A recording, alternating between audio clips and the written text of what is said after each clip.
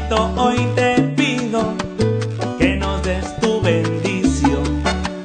Es tu pueblo chimbotano quien te reza esta oración.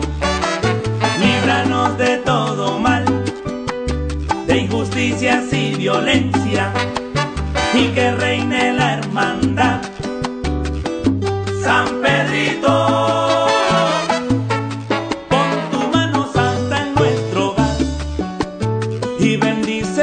familia.